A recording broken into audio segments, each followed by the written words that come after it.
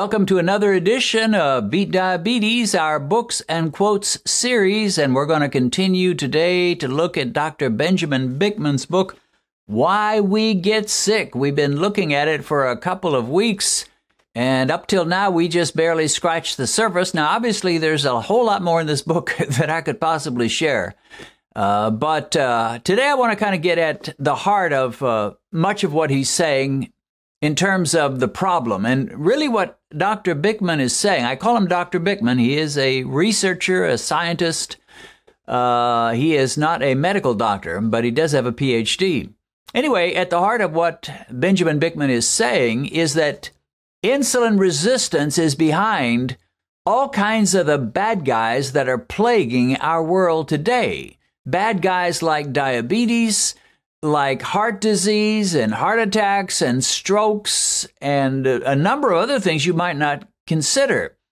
So, we're going to kind of look at that today. And let me just start out by his little uh, simple definition of insulin resistance. Now, I say simple, actually, he goes into some detail, but I don't have time to share all that he says. But he says this at its simplest, insulin resistance is a reduced response to the hormone insulin. Reduced response means you don't process insulin the way you should. He goes on to say the key feature of insulin resistance is that blood levels of insulin are higher than they used to be, and the insulin often doesn't work as well. In other words, you've got the insulin. He's talking about pre-diabetes or insulin resistance. You may not be fully diabetic. The, the doctor may have never told you you're a diabetic and your A1C may be below that 6.5 marker for diabetes and yet you've got insulin resistance. And he says at the heart of it is your body doesn't handle insulin very well. And as a result, you end up needing more insulin to do the job. I like to call this uh, metabolic inflation. Back in the uh, 19, late 1970s, I got a job as a school teacher in Elsberry, Missouri. And that was my first grown up job. I think I was, I don't know, in my 20s at the time, uh, not, not uh, too far along in my 20s. So I got a job as a fourth grade school teacher and my contract was for $7,700 per year. That was my yearly salary, $7,700. Now they bumped it up somehow. I don't remember why, but they gave me an extra 300 to make it 8,000 before long. So I ended up with an 8,000 yearly salary. Well, even even in those days, that wasn't much, and it certainly wouldn't be much now. Uh, you couldn't live on eight thousand a year. At least most people couldn't and pay your house bills and, and your rent and your your uh, fuel and electricity and all the things you do. You just couldn't live like that on on that much money. Not here in America. Now I know there are other countries where they live on next to nothing, but Americans would have a hard time with that. So what's happened? Well, we call that inflation, and uh, things cost more than they used to. And they talk about the inflation in Germany just before World War II, where you would have to take a wheelbarrow full of uh, the German marks just to pay for a few groceries. So it cost more than it used to. You could still get what you used to could buy, but you'd have to pay more. Insulin resistance is kind of like inflation.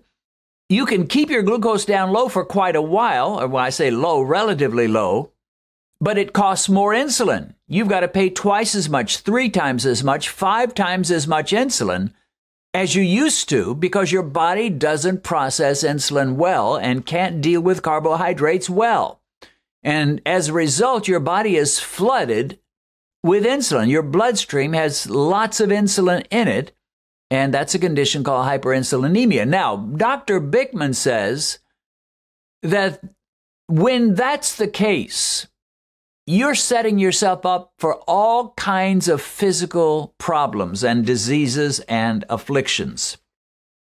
And I, I, obviously don't have time to go into too much detail, but let's just talk about some of them. Um, let's see what the next one is here. Okay, he talks about heart health, and uh, he, he has a chapter on what the problem is with your heart. Now, we thought we had nailed it years ago. I mean, way back in the 70s, we figured we've got this thing figured out. you've got heart attacks, heart problems, strokes, heart health issues because you eat too much meat. And if you can just cut the meat down and all that saturated fat, you're you're you're good. Uh, we have come to see, at least many have come to see, that the problem was never the saturated fat. The problem was the carbs and the sugars. Here's what Benjamin Bikman says. He says, I hope it's clear by now Though we often blame other factors, there is no single variable more relevant to heart disease than insulin resistance. Any successful efforts to reduce our high risk of heart disease must address it. In other words, if you're concerned about your heart, and everybody ought to be because heart disease is so prevalent. I mean, it's ubiquitous these days heart problems, heart disease, clogged arteries, and so forth. If you're concerned, and you don't deal with insulin resistance and you don't care that it's taken you four times as much insulin to keep your glucose down as it used to, or maybe now even four times as much insulin can't do the job, and now your blood sugar's starting to go up, and now the doctor's saying you have diabetes. But what he's saying is that's a heart issue. Your heart is at risk because of your insulin resistance. And he goes through the, the, first half, or a little over the first half of the book, talking about various issues. He talks about the brain and neuro- neurological dis- diseases. He talks about reproductive health and fertility. And he declares that even in that case, which most people wouldn't even think had anything to do with insulin, he says insulin can be a player in that. He says reproduction is a demanding process. The body wants to ensure things are working right, including metabolic function, before worrying about the next generation. Insulin, the king of all metabolic hormones, is a strong indicator of metabolic status in the body, and high insulin rings a warning bell. From the brain to the ovaries and testes, insulin either facilitates or frustrates reproduction. So, in many cases, reproduction is hampered or stopped, and you can't have children, you can't conceive, or you can't uh, get pregnant simply because your insulin is so high, your, high, your body is saying, This just ain't going to work. Now, that's according to Benjamin Bikman. I, I must admit, I haven't heard that a lot but that's one of the, the cases he makes in his book. And he just goes after one issue after another and says uh, insulin resistance is a major player in all these things. He deals with the issue of cancer. Now, that's something we hear frequently that cancer is often uh, a problem when you have insulin resistance or when you have diabetes. So he says men with high degree of insulin resistance may be upwards of 250% more likely to develop prostate cancer compared with insulin sensitive men of the same age, race, and body weight. In fact, prostate cancer and insulin resistance occur together so often that some scientists have questioned whether prostate cancer might be an additional eventual symptom of insulin resistance. Wow a symptom, cancer, a symptom of insulin resistance. Too much insulin in the body. Your, your blood sugar issues are starting to get out of control. Your insulin is surging. You've got five times as much insulin as you should have in your blood. And uh, from what I'm hearing, cancer often and, and normally cancer cells will feed on sugar and high blood sugar. And apparently, high insulin does not help. He talks about many other issues that uh, he feels insulin resistance plays a role in aging, the condition of your skin. Your skin is more likely to age and, and get uh, splotches and, and wrinkles and skin tags as a result of too much insulin and all kinds of things. We all know that blood pressure is a problem with metabolic syndrome and insulin resistance. So, I mean, he just names one problem after another after another and says insulin resistance is a major issue. Why aren't you concerned? Is kind of the implication. And it's kind of funny because up till now, we've been so concerned about cholesterol. Cholesterol was the boogeyman. Cholesterol was the bad guy. How's your cholesterol? What's your cholesterol doing? Is it over 200? Ooh, I'd watch that cholesterol. And that's all we care about. And what guys like Bikman and others are saying is cholesterol, cholesterol, insulin resistance is a much bigger bad guy than cholesterol ever was. And your A1C doesn't even have to be out, totally out of control.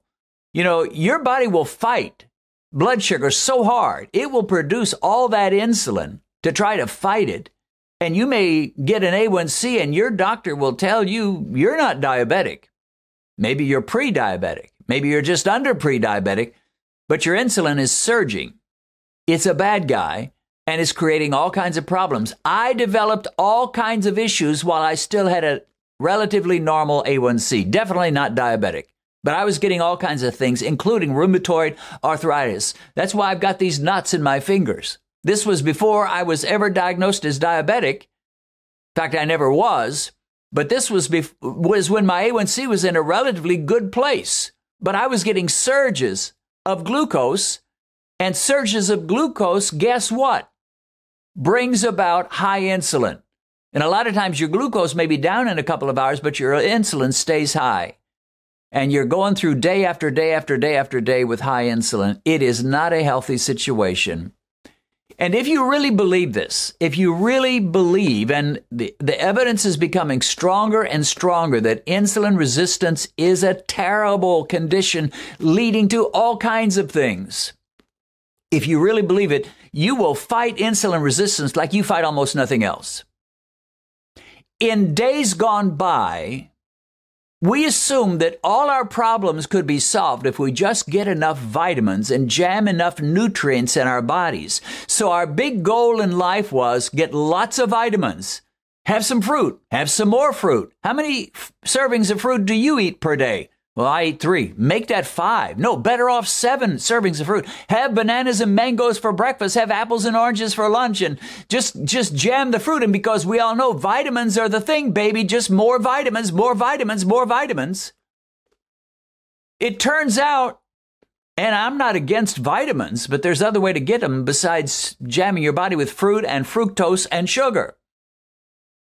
But it turns out that high insulin, insulin resistance, which can eventually lead to diabetes, but can lead to so many other things, are far more important than whether you're getting enough vitamin C or vitamin this or vitamin that.